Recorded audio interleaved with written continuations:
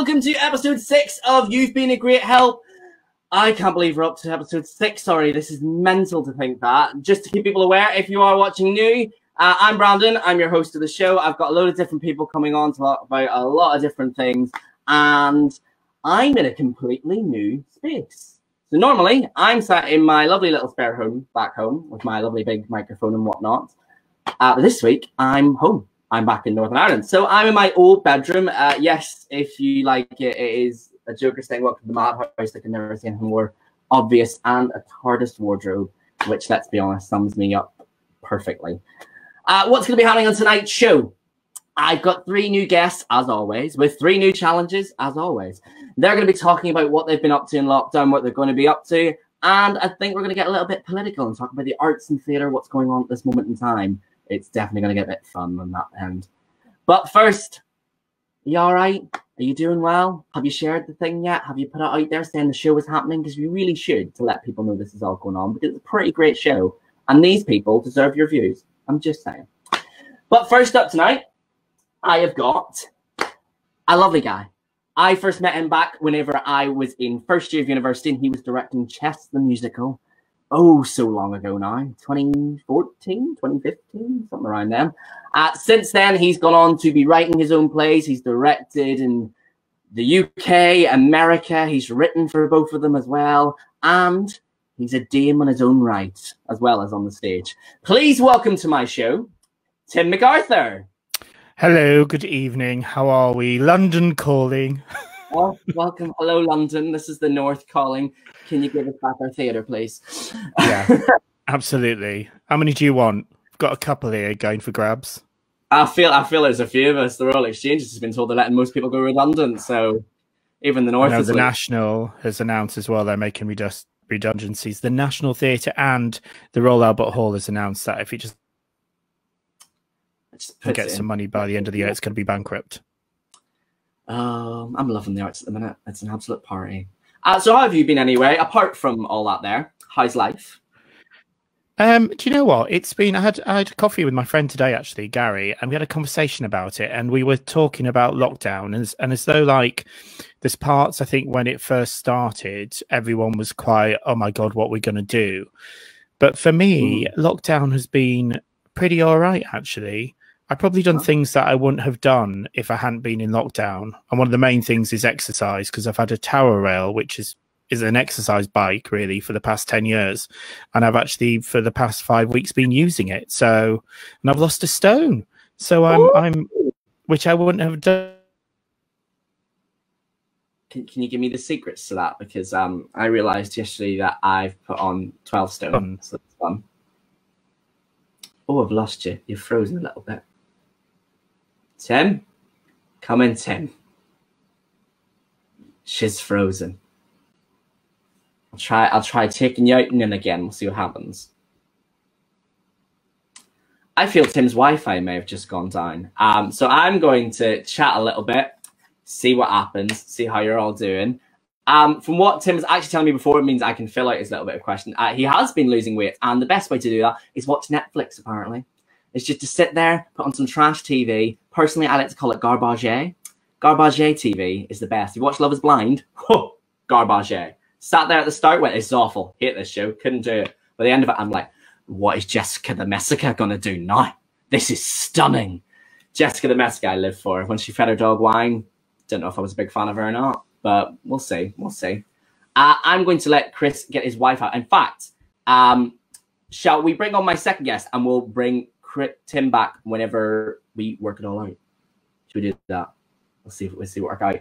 Uh, if my second guest can be ready and he's prepared and ready for a nice little chat, uh, please welcome to the stage uh, the soon-to-be best man of my fiance at our wedding, which isn't happening yet, but he may have applied for Don't Tell the Bride, which means we could be getting married a bit sooner than I expected. 13. Oh, Tim's back. Never mind. I will introduce him again later. I apologize. Everything's going wibbly tonight. This is fun. New venue, new everything. Who doesn't love a party?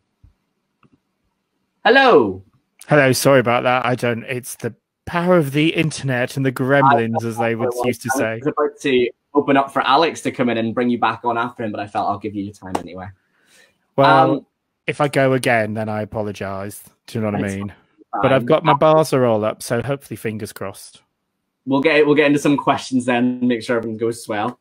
Uh, well, uh, first of all, I want to talk to you. What inspired you going into performing? Because, like I said, you've written um, plays, you've performed in them, you've done many a panto, like you've done nearly and directed, obviously, and in nearly every area of the arts. What inspired you to get to that? Um, originally, I wanted to be a bus driver, and then um, I know, I know, and then um, my brother actually got interested in theatre before me, so we would go to London and see shows, and then my yeah.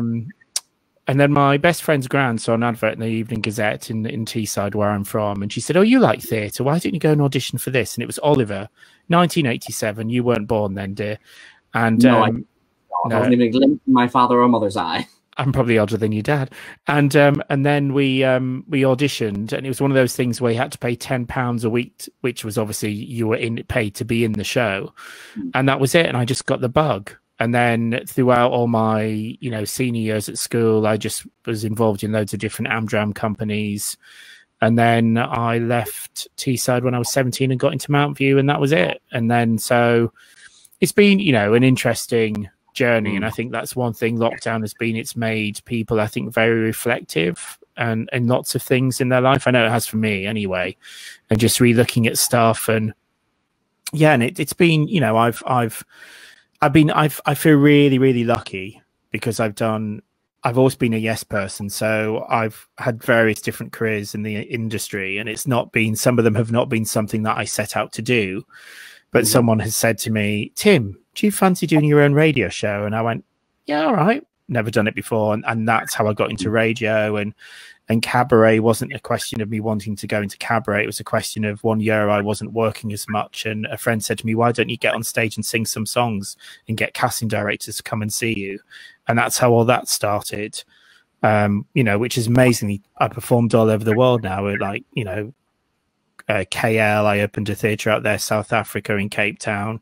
You know, I did wow. Feinstein's 54 Below. I did I was the first British artist in a theatre in Chicago last year to perform at a new venue out there. So it's it's been when I look back at my career, things I've done, some of them have, have been areas that I've really not imagined that I would go into. Mm-hmm. So it's been a really interesting journey, and I just hope that um, oh, I feel like Eva Peron, Peron, Peron.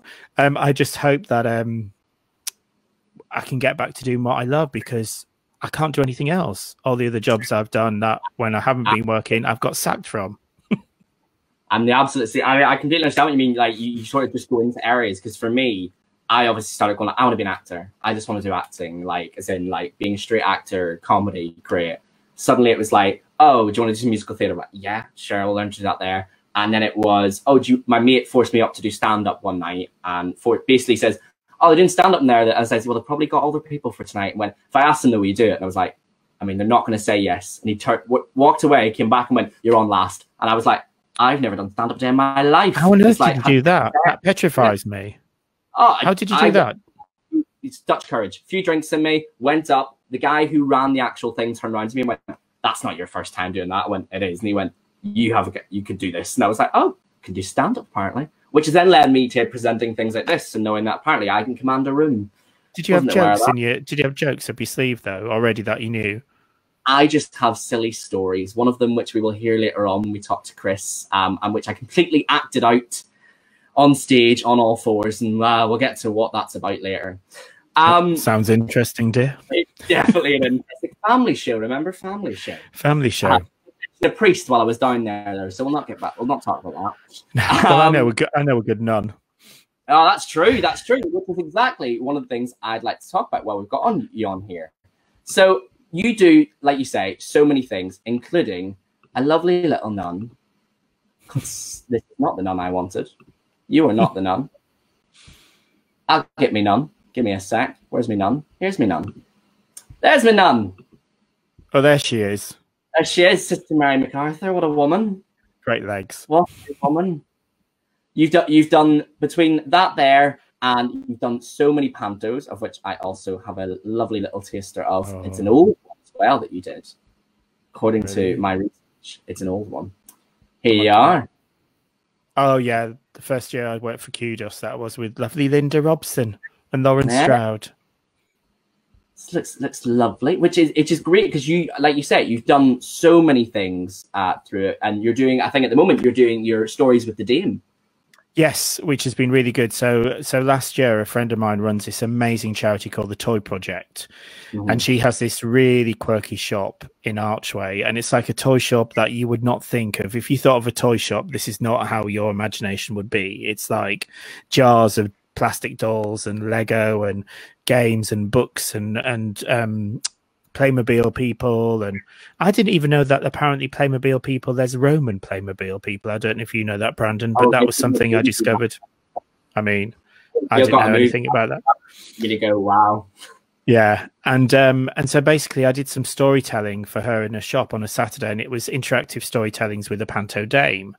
Mm-hmm. And we did it in the shop, and then we went into uh, hospitals and children's wards, and special needs schools doing interactive storytelling. Um, and then this year, because also um, the Dame performed on the stage in the children's area last year at Pride in London.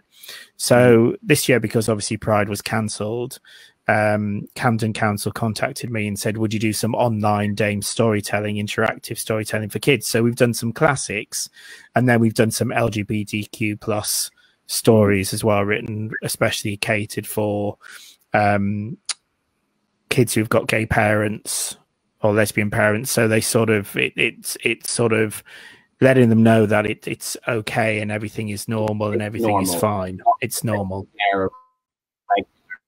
Because they don't have a mum and a dad, which is yeah. absolutely right. I think there's a whole thing where you know should kids be taught about LGBT history and stuff in schools, and I absolutely think they should because you don't. I think especially where I grew up, you don't know about that kind of stuff. Yeah, I'm yeah. told it's wrong, I, mean, I didn't even because I, for anyone doesn't know, I am a, a bisexual man, and I didn't know that was an option when I was growing up because people never told me it was until I hit around 18 and went to England. Went, yeah, that's a thing, and I went, oh, I have more than one option out of this, and I understand my life a bit more. Because I absolutely, yeah, yeah. I think that's a great, fantastic. Um, short little thing for us though. Uh, in one sentence, could you please sum up how you feel about our current uh, performance crisis? I'm calling it well, thanks to Matt, he came up with the name. It's called Curtain Down to me. Uh, so we've had Brexit, we've had names like that. I'm calling this Curtain Down. So how do you feel about Curtain Down? Crippling. Crippling. That, um. Uh, I mean, it's. I'm scared. I'm really scared. I'm. I'm. I'm. I. I.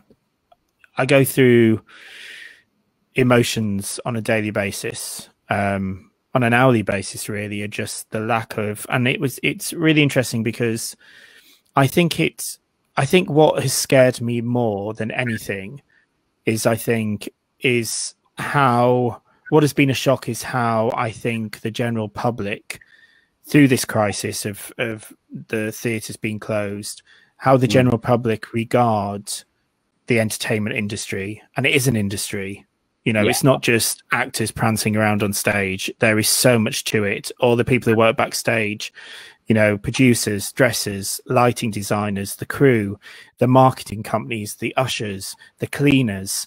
Do you know what I mean? Yeah. It, it's just like it's just a vast thing, and I think people do not. And it comes back to a thing when I was growing up and wanted to go into theatre, and I remember seeing a careers advisor and then really not looking at it as it like a proper profession. And mm-hmm. I think the thing that, you know, if you look at, for example, with football, how much people wanted football back. And yeah. yet more people go to the theatre in this country than they go to watch a football game. Yeah. And yet we are faced, and football was one of the first things that came back. All right, without without uh, audience. an audience, without an audience, but the government insisted that that was one of the first things that they got back. Now you have to ask why did they do that? Because of whatever reason, morale, sponsorship, hmm. deals, you know, but theatre brings in more money than football to the economy, and that is a fact.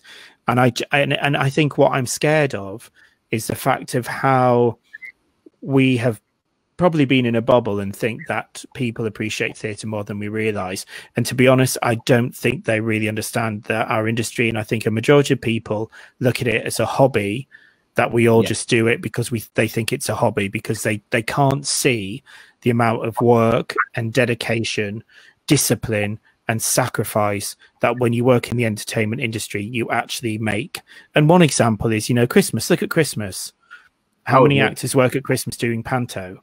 And you work over Christmas. You don't spend time with your family. Now, what other profession, apart from doctors and nurses, which are, hugely valuable, obviously, but what other profession really do people work at Christmas? Yeah, that's very true. Of uh, postal workers, I'll give them that. I'm sure my mum will watch this when I work at Christmas, and she does. But do you know what I um, mean? But, there is a very if you were to list the amount of people who actually work, and and that's something that you know because we're performers, we're storytellers, we do what we do, we love to do what we do, we want to communicate, we want to tell stories. It's not it's not a case about having a jolly. You know, we work hard.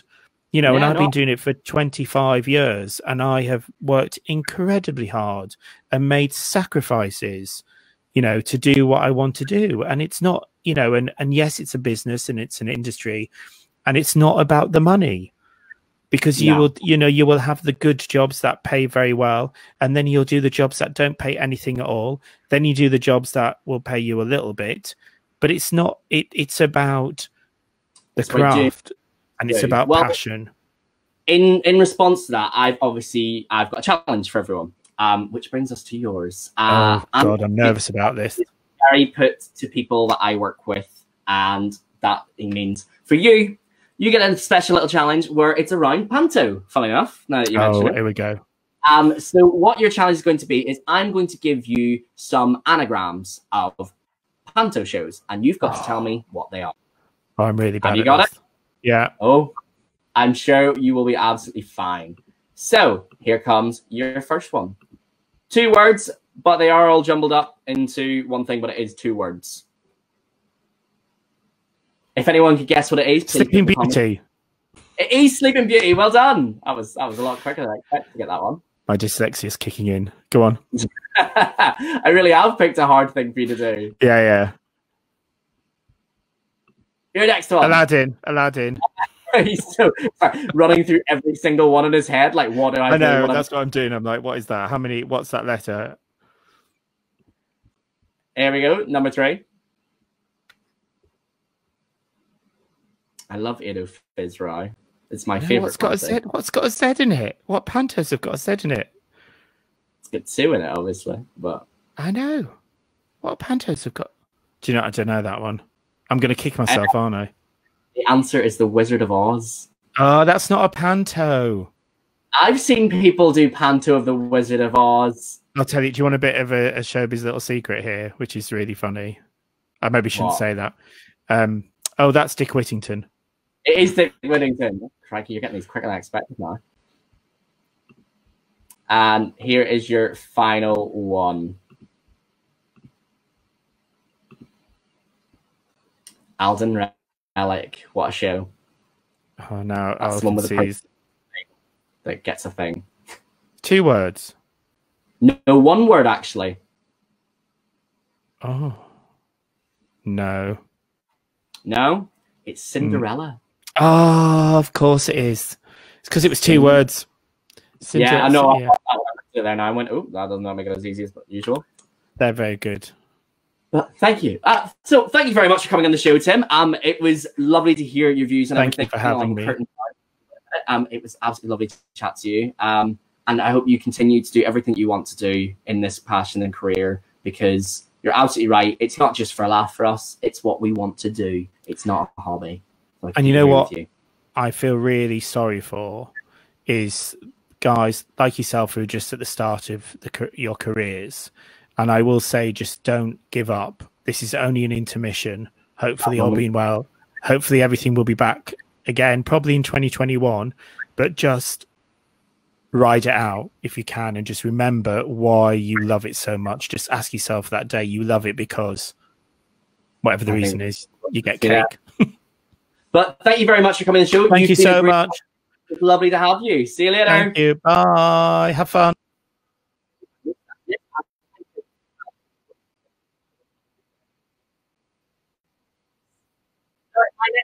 I go on to, um, like I said before, people consider to be that hopefully that they still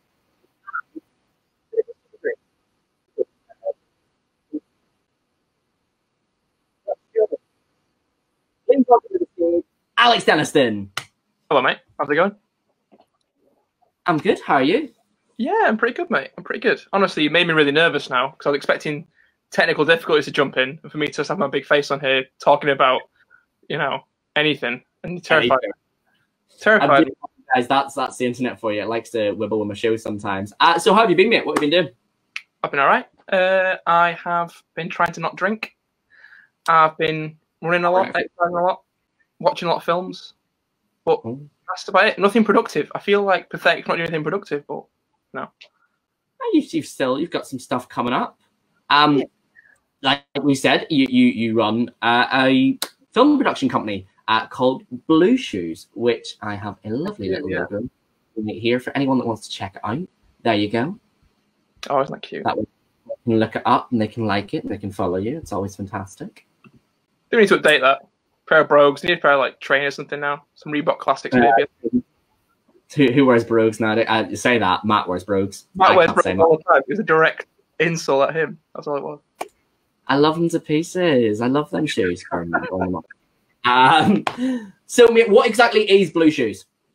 Blue Shoes is a production company that I set up while doing my history masters at University of Manchester. I met two friends there and we did a documentary making course.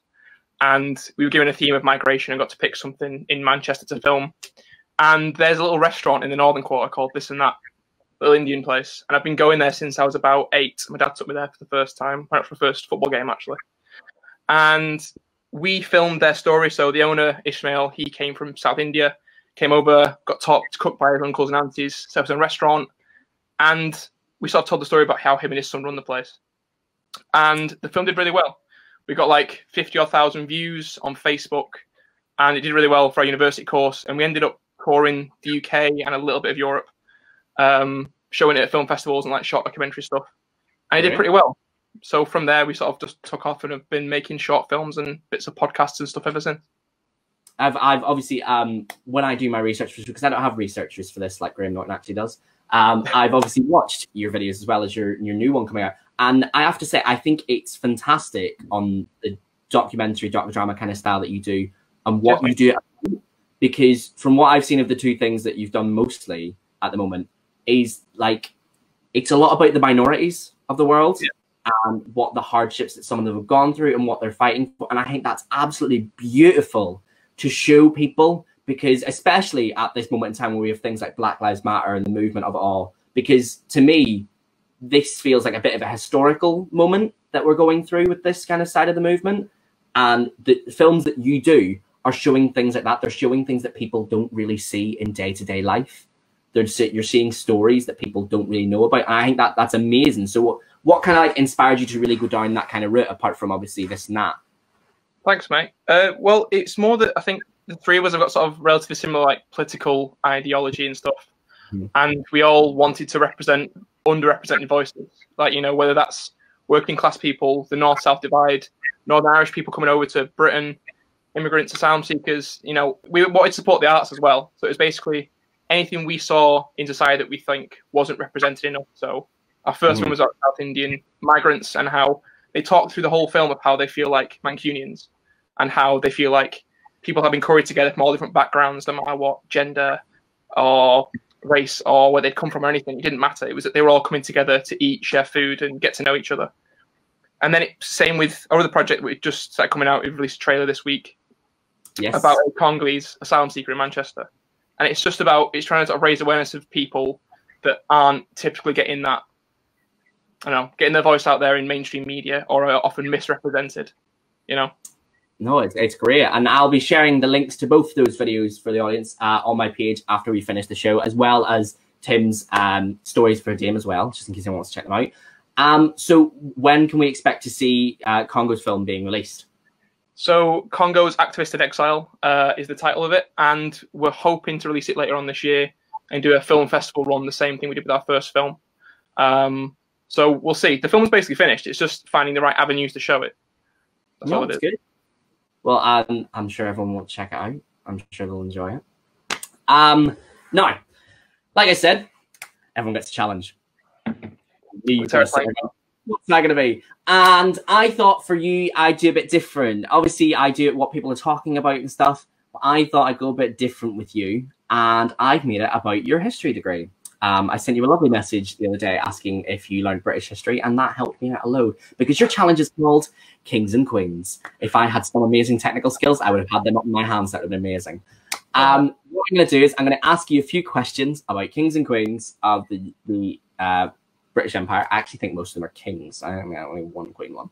Um, and what's going to happen is you've got to tell me what the answer is. Okay, I'll, I'll do my best. do my best. This is my, I- brother. my brother's good at royal history. I'm not good at this stuff. You just sit there watching this, going, "I know what that is." What are you Literally, doing? he sat downstairs screaming at his phone. So this will be good. So, first question: Who was the last English king to lead an army into battle? Ooh. Um, I am going to go for King Charles the First. Are you completely sure?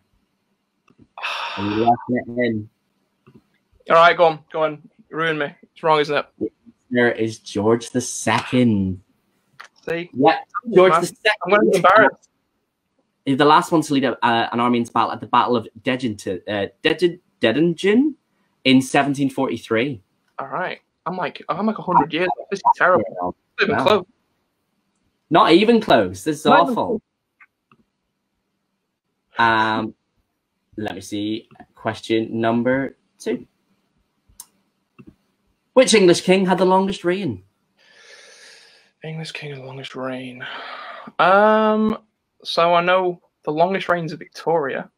No, no, it's not. It's Elizabeth II, then Victoria. Longest reign. I want to go for George the Fifth. George the Fifth. Oh God, you, you, I did this last time. I was like, was it Charles the Second last time? So I'm going to go George the Fifth. Maybe this is wrong George- now. Your answer is George the Third. You see, It was 59 years and 96 days. I think I did a quiz on this with like some friends about three, four weeks ago, and I can't remember that far. This is my history Yeah. knowledge. Is, that was history, and I forgot that as well.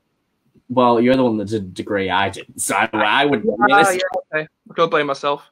Here's an easy one. Who was the first king of all England? Uh, I'm gonna go for Alfred, Alfred. King Alfred. Yeah, he claimed himself first king of England. Anyway, he was king of Wessex, then claimed himself first king of England. Are you sure it's going to go with Alfred? Yeah, I mean, I'm gonna get it wrong again, and I'm gonna have a clean suit of incorrect answers on the challenge. But uh, yeah, I'm gonna go for that. You're going to go Alfred? It's actually Athelstan.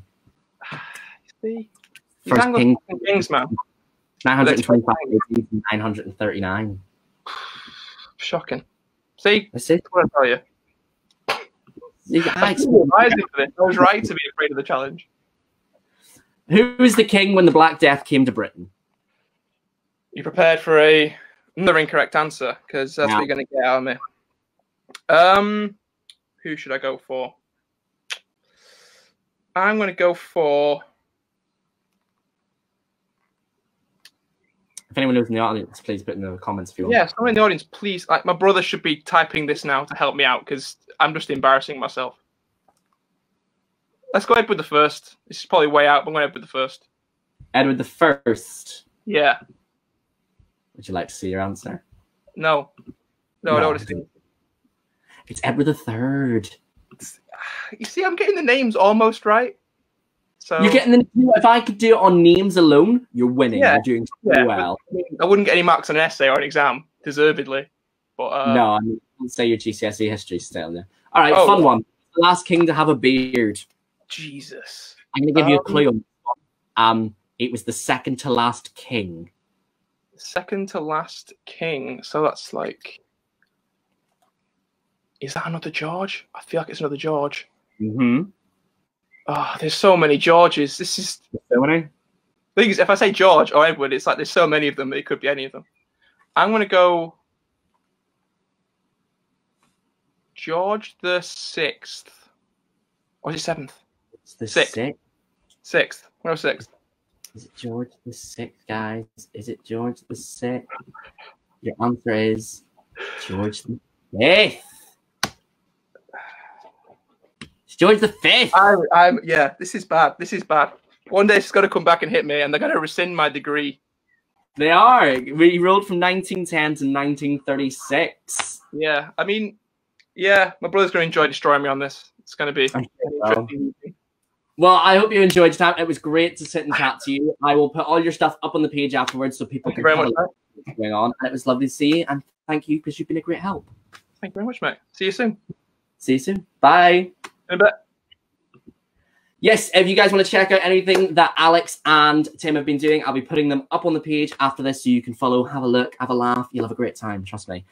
Now, next up, as we've seen as of last week, I get a guest singer on every week. And this week is no different. We have a lovely guy on called Ben Johnson. He used to be my manager and he's also a great friend of mine.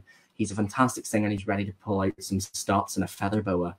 Uh, he is singing a song from Oliver and Company. It's fun, it's a bop, you'll have a great time. Please welcome to the stage, Ben Johnson. I think I'll leave you alone.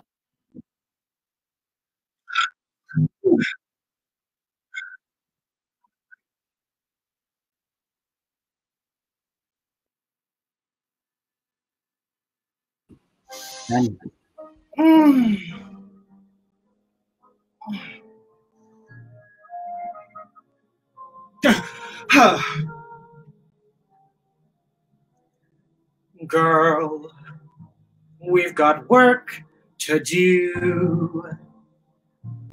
Pass me the paint and glue. Perfect isn't easy, but it's me. When one knows the world is watching, one does what one must.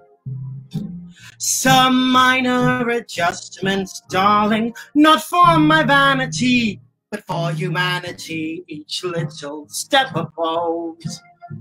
See how the breeding shows. Sometimes it's too much for even me.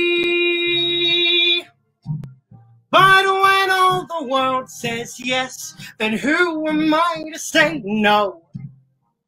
Don't ask him up to strut like a showgirl. No, girl, you need a pro.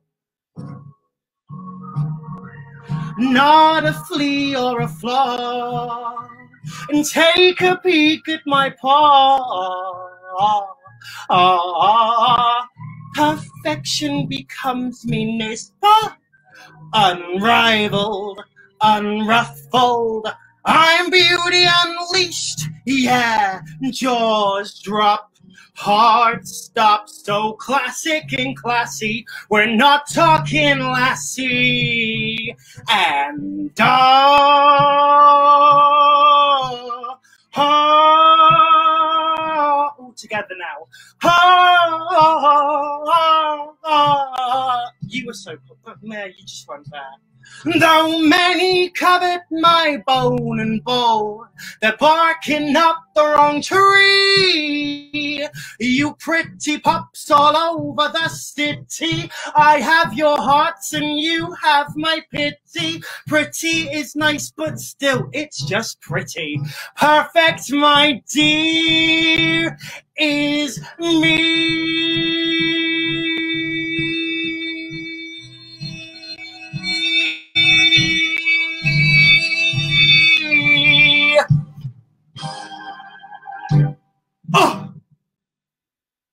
Thank you very much, Ben! oh, give me too much credit. Our lovely little show. Um, I hope you had a great time. Thank you very much for joining us. You've been a great help. Um, Nathan, if you want Ben to do things like that, you have to pay for his OnlyFans. So thank you very much, everybody, and I'll see you later, Ben. Bye. Baby. Thank you very much to Ben. That was great. I knew he was going to go something sultry and something musical theatre. It wouldn't be him if he didn't. Now, my next guest I have on is a lovely guy who I met in the past week who had me on his podcast talking about a lovely story that I did once, and we'll be talking about that later on as well. Um, his name is Christopher Bartlett Walford, if I can get that all out in one go. Whew, he gave me the thumbs up, so I've done it right. He's on to talk about his new talk show, Don't Call Me, We'll Call You and he talks about some random things which you're about to find out about. Please welcome to the show, Christopher. Hello, everybody. Hello, hello, hello, hello. How are you? I am doing wine. Uh, fine, thank you very much. Oh yeah. Um, If you no, leave me I'm- till last and there's a bottle of red wine in the fridge, because it is a chilled summer red wine, I'm having a lovely time. How are you, Brandon? I'm good. I'm good. I'm doing my show. I'm having a party. I wish I was having a wine. Um, you, can, you can just go and get one. You know that is fine. I'd love to, um, but I'm trying to because I weighed myself and said I was 12 stone, and Matt's only 11 and a half, so. It makes me Yeah, I wish I was 12 stone. Let's move on because that's a long time ago. So, Chris, you do a lot in the industry. You've done so many different things. You've been on All Together now as a as a judge. I There, have. Just in case anyone has forgotten. Ah, I love it. I can hear the theme tune already. um, I know a few people have been on that actually. Um, I mean, there were a hundred of us, so you've got a were, good chance. we all we all I was- pretty much knew each other anyway, so it's fine. um, Andy Pierce. yes, I know Andy. Lovely Andy. directed me in a show once uh, for a Stenline thing. I was like, oh, I do know, I know more people from this. I'm going to know all 100 of you soon. I'll be like, yes, you everyone. it was good. It was good fun, and and everyone got to know each other in the tiny space that we were held in. Yeah, you also run an agency called Rigmarole Management with uh, a number of other agents, and which Sam, one of our guests from last week, is one of your clients, which was really Lovely amazing Sam. happening. Um, and you also so run linked. so linked. We'll Call You, which is a fantastic podcast where you guys talk about awful auditions, of which I have probably more stories to give you than the one I just give you. Um, so first things Yes, please. first. Yes, I- please. Since you've done so much, what inspired you to get into the industry? I mean, if if I'm perfectly honest, I'm Welsh, so music is uh, a massive part of our culture in Wales, and it's just a natural thing. I'm not necessarily sporty. Um, I'm not the most academic person in regards to like sciences or anything. Music is just uh, where my my skills lied from a very early age. Uh, so why not make a career out of it? Well, No. because a global pandemic will shut it down. That's why. But yeah. That's why it's always a party. Um, so then, um, that's actually a good lead into my next question. Um, like I, I'm sure you see when I was talking to him, I call it curtain down, thanks to Matt's lovely Mm. gave it. I think that should be something we should trend hashtag curtain down because curtain down. Yeah, I think the thing is with, with the phrase "curtain down," it's it's quite final. Uh, Maybe we should- intermission, I think, was a, intermission was a good idea. I think that's Oh, that's I a good thing. Curtain down seems a little bit too final for me, but unfortunately, I think for some people, it's going to be curtain down. But Um, so how how, we you need help. this whole thing? Do, do you know what? I've had a really hard week this week. It's been very hard. Um, it's it's very tricky when you work uh, the agent side of of the business.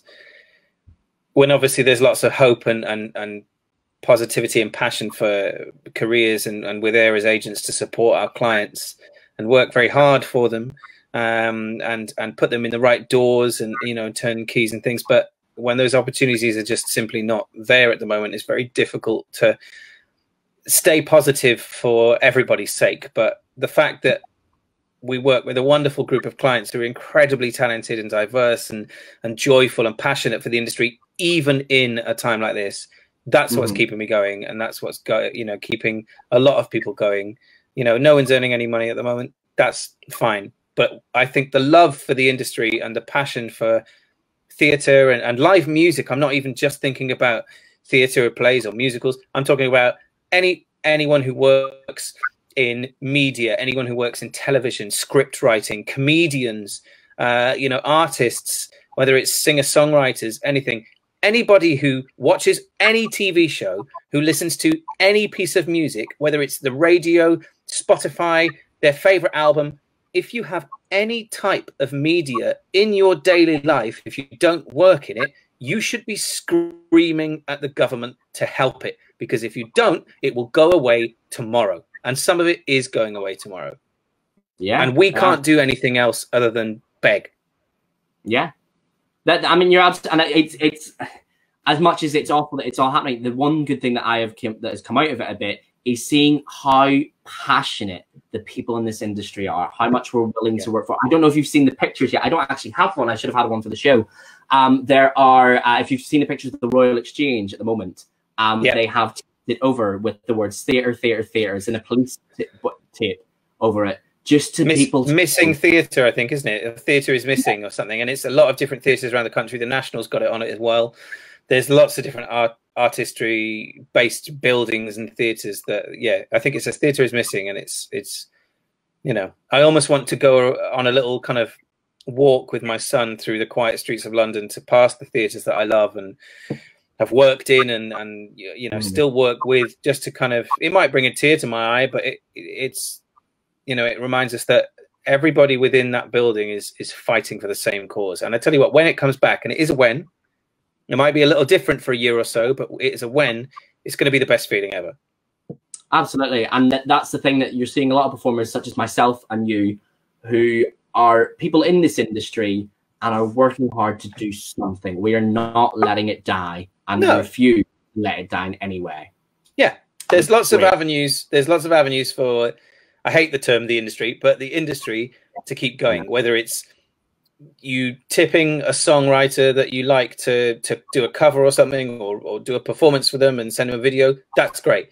It's donating to someone like the barn theatre you know or mercury theatre colchester or, or black ticket project and people who are putting their time and resources into bringing new people into theatre and new theatre to people do it. If you can that's great. A pound two pound 50 quid whatever do it.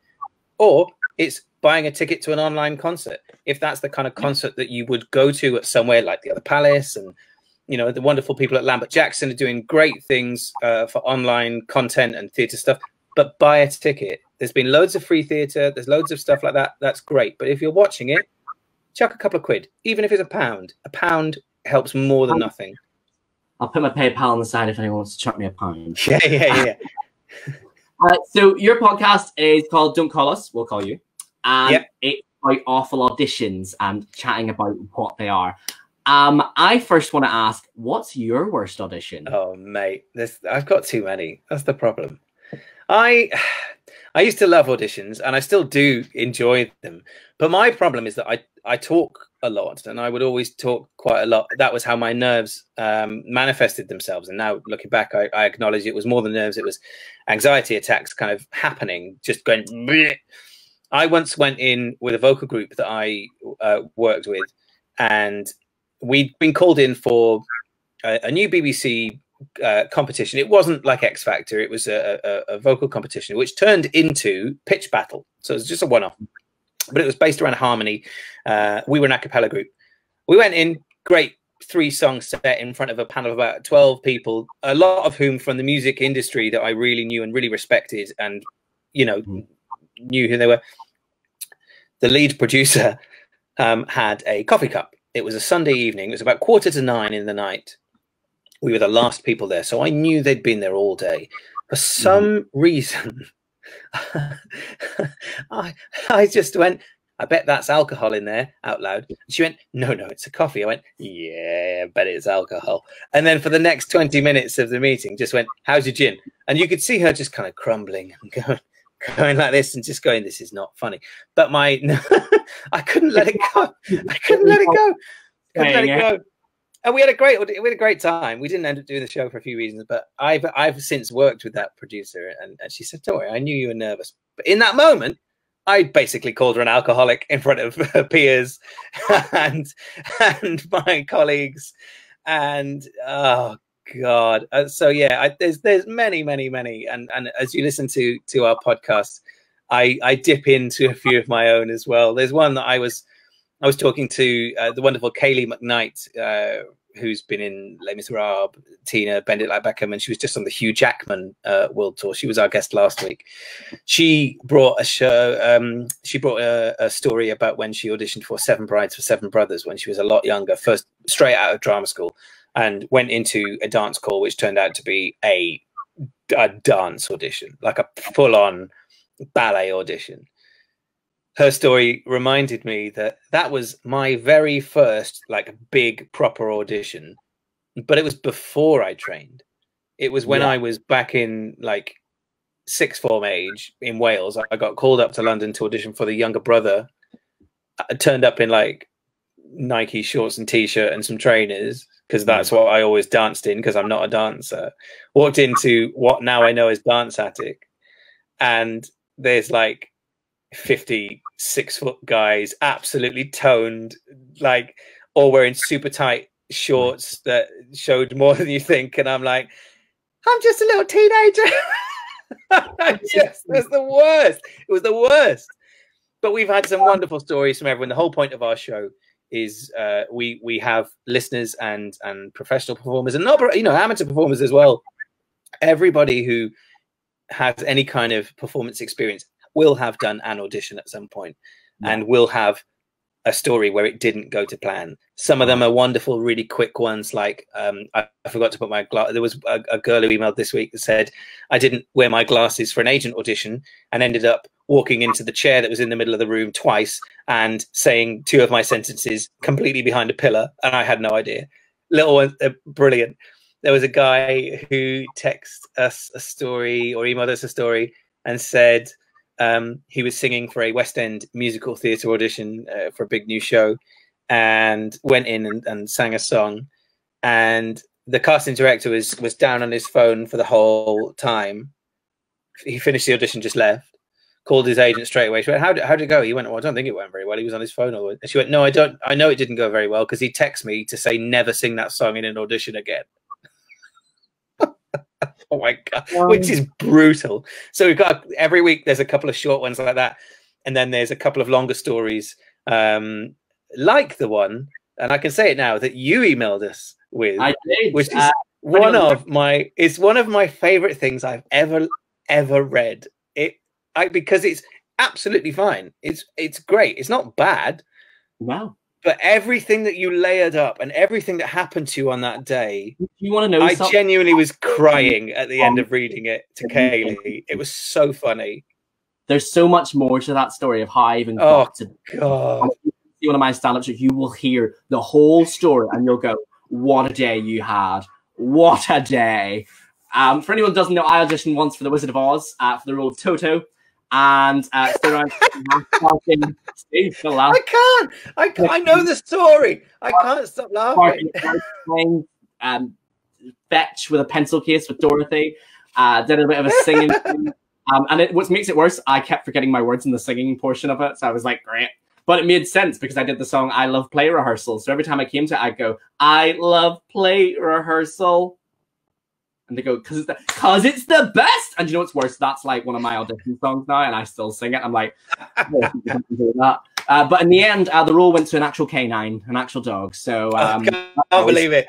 You didn't even not you didn't even not get the job to someone who looked like you, your friend, your worst enemy. You they gave it to a dog. they give it to a dog. They give it to a dog. It's a I can't. I can't. It's it's like you going in for Grizabella in Cats and then giving it to the tiger from Tiger King. It's ridiculous. Yeah. Oh, absolutely, absolutely. I mean, if, if, I mean, if Judi Dench can turn around and say she's in cats, I think I'm fine. the reason the reason that we launched our show uh, during lockdown, we've been planning it for about a year, and we were kind of collating stories and, and working behind mm-hmm. the scenes on on everything. Theatre and performing arts and recording arts and live arts and, and TV and everything is in such a dire state at the moment.